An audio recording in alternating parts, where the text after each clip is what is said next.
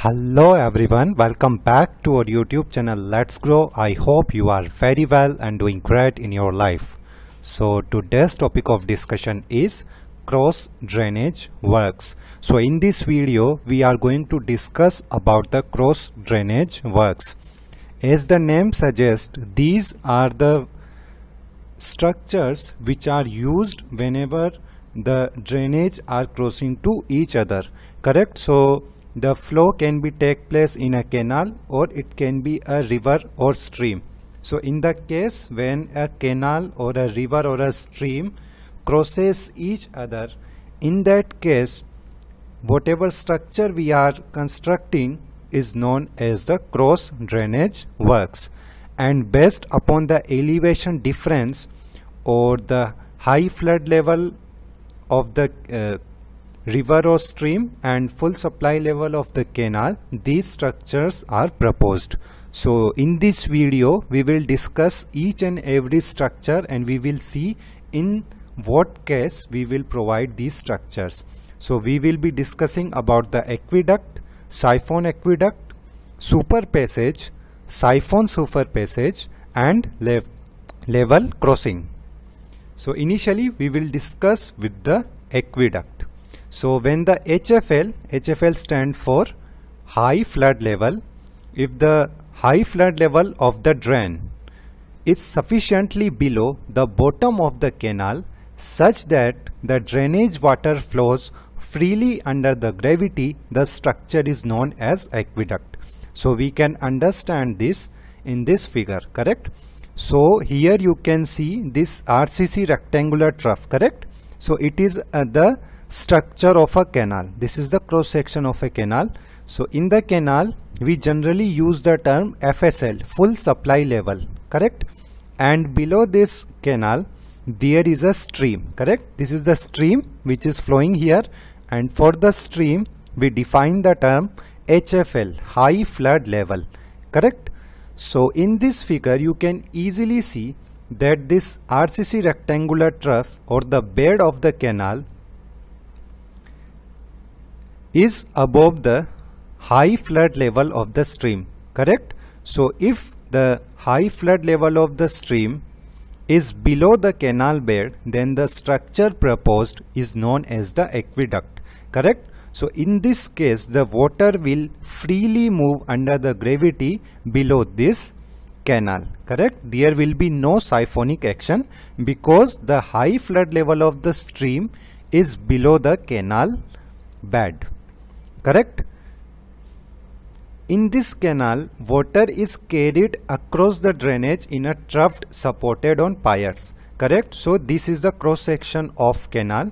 It is a RCC rectangular trough and this trough is supported on the piers so here you can see two piers on which this rectangular trough is supported. Along with this you can see the inspection road as well. So near at one bank of the canal this inspection road is provided for the inspection purpose along the length of the canal correct? Now the second term is siphon aqueduct correct?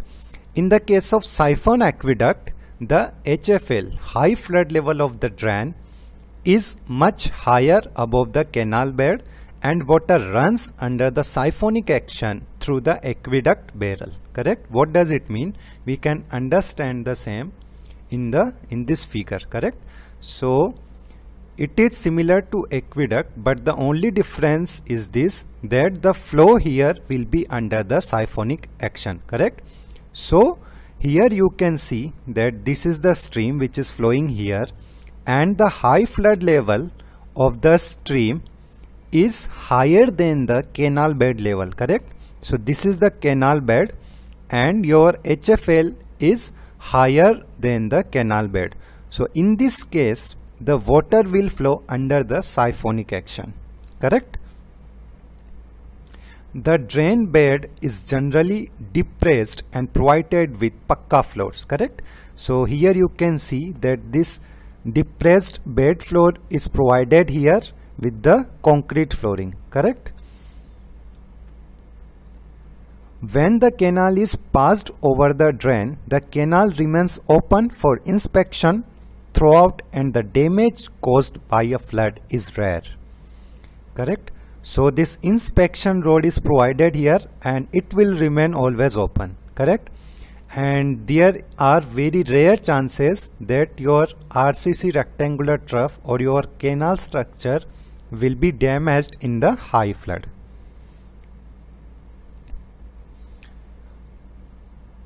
However, during the heavy floods, the foundations are susceptible to scour or the waterways of the drain may get choked due to debris, trees, etc.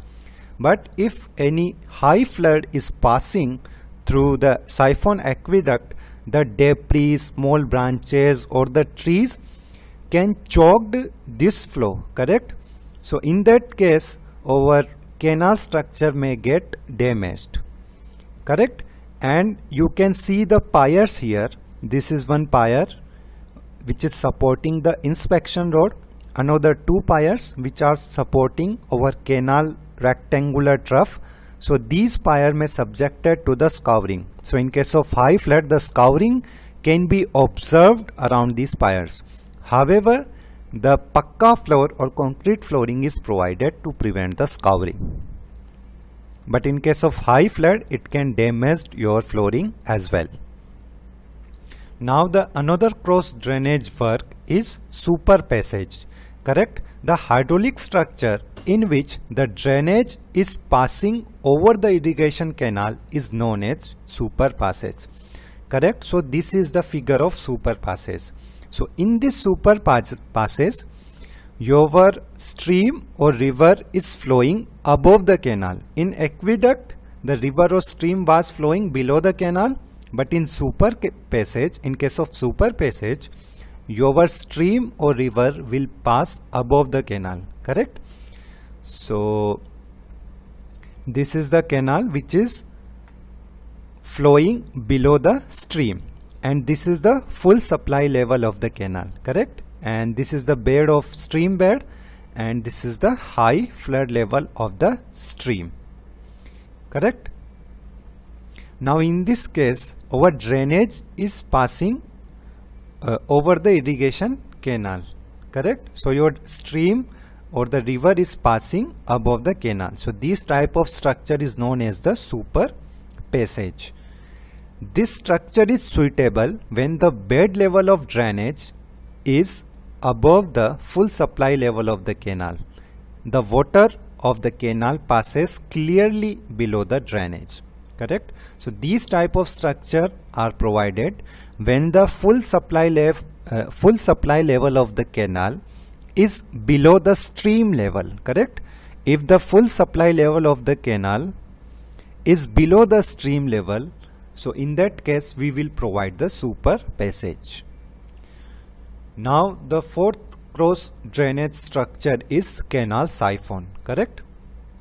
If two canals crosses each other and one of the canals is siphoned under the other, then the hydraulic structure at the crossing is called canal siphon, correct? So in this structure you can see two terms, one is canal and another is siphon, correct? So here you can see this is the canal and this is the stream correct so here due to the siphonic action water is flowing correct? So it is known as the siphon. So here you can see that the full supply level of the canal is above the stream bed correct? So in this case it is uh, the structure we will provide is the canal siphon.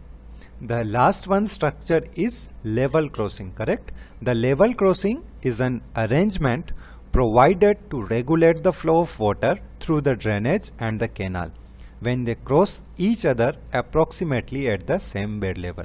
Correct? So if uh, two water conveying uh, media like one is the drainage and another one is canal they both are meeting at the same level then the structure provided is known as the level crossing. Correct so this is all about this cross drainage structure. I hope you understand this structure. If you have any doubt you can make your comment in the comment box. Thank you so much to watch this lesson till the end. Okay take care. Bye bye